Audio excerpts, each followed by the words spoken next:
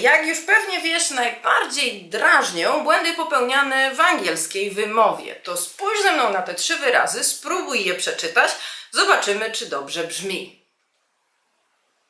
Chicken, Christmas, champagne. Say what? Zobacz, masz trzy wyrazy, w każdym jest CH i za każdym razem wymawiasz je inaczej. Chicken Christmas Champagne? Tak jest. CH możesz wymówić na trzy sposoby po angielsku, ale nigdy, przenigdy nie wymawiasz go jako H. Zostań ze mną, obejrzyj ten odcinek, zobacz jak i w których wyrazach wymawiać H.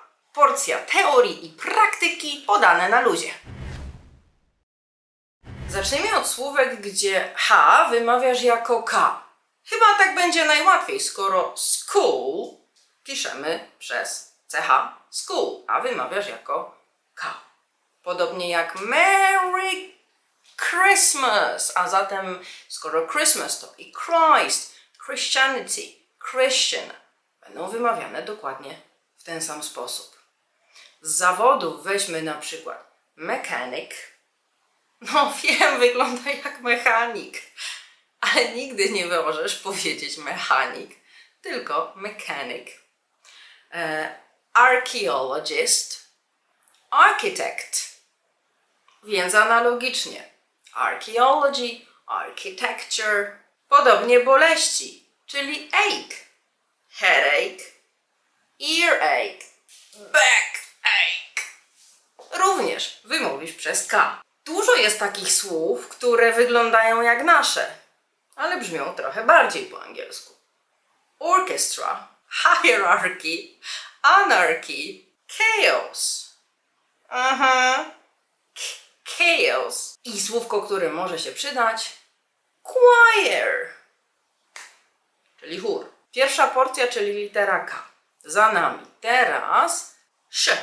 Szef na którego uważaj, bo to szef kuchni, nie boss, tylko taki główny kucharz. Champagne, champignon, no tak, dobrze zgadujesz, to słówka francuskie. Parachute, czyli spadochron. Moustache, wąsy. Brochure. Słówko mega często używane machine. Machine. No jakby inaczej mogło to brzmieć. I oczywiście można też wymawiać to, tą głoskę jako c. Chair, cherry. I wspomniany już na początku chicken. A na koniec mam dla Ciebie słowo, w którym piszesz CH, ale go nie wymawiasz. I jest to podwójnie mylące słowo, bo wygląda jak nasze. Jot.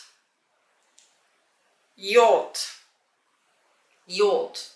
Have you got a yacht? Spróbuj to zapamiętać, choćby na zasadzie żartu. Jacht to yacht. Pod filmem przygotowałam dla Ciebie PDF do pobrania z tymi wyrazami ułożonymi w kolumnach, z obrazkami, żeby ćwiczyć sobie ich wymowę. Możesz te, do tego użyć swojej komórki i nagrać się, próbować, czy tak wymawiasz, Próbuj czytać je tak samo. One są tak, tak ułożone, że tu jest k, tu jest czy, tu jest szy. I sprawdzaj ze słuchu, czy brzmi to tak samo. Czytaj, nagrywaj się, wymawiaj.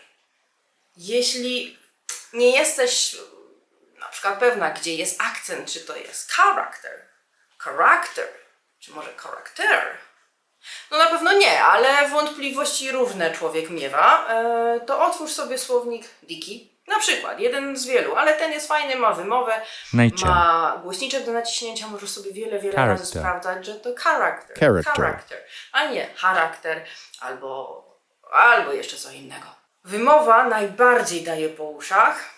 Możesz ją łatwo wyćwiczyć, możesz to łatwo wypracować. E, samo słuchanie jest super, ale może być to za mało. It may not be enough, so start working. Zacznij pracować tak wydajnie, efektywnie nad swoim językiem, ćwicząc choćby po 5 minut. 5 minut oglądaj filmik, 5 minut potem ćwicz, czy dobrze wymawiasz.